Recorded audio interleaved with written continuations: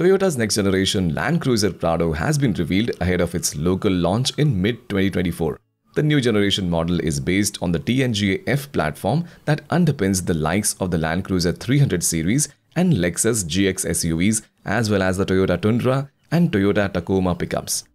Measuring 4,920mm long, 1,988mm wide and 1,860mm tall, the all-new Prado is 95mm longer and wider and 10mm taller than before.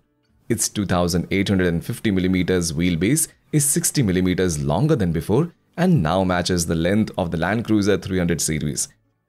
For design, the all-new Prado is boxy and proud, incorporating design cues from past Land Cruiser models. Entry-level and mid-spec variants get round lights housed in rectangular clusters, while higher trim levels get LEDs. By the looks of things, it's reminiscent of the 60s series Land Cruiser right down to the headlight arrangement.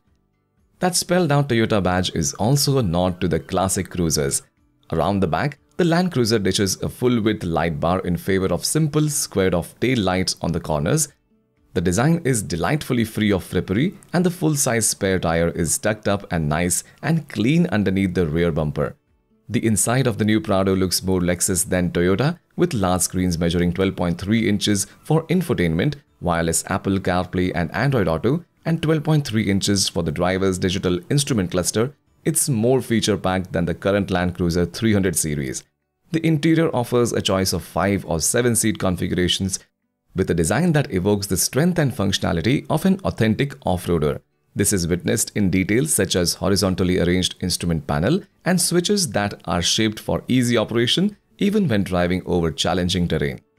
The driver's all-round visibility has been given priority helped by the low-set cowl, horizontal instrument panel and a lowered belt line that allows deeper side windows to be fitted. The new Land Cruiser will be introduced with a 2.8-litre turbo diesel unit engineered for strong balance of fuel efficiency and performance. It produces a maximum 204 horsepower and 150 kilowatt and is matched to a new 8-speed direct shift automatic transmission, giving it the strength to tow loads of up to 3500 kg. In early 2025, an electrified powertrain combining the powerful and efficient diesel engine with 48-volt mild hybrid technology will be available. Toyota will open pre-sales of the new Land Cruiser for the European customers in October, with first vehicle deliveries expected in the first half of 2024.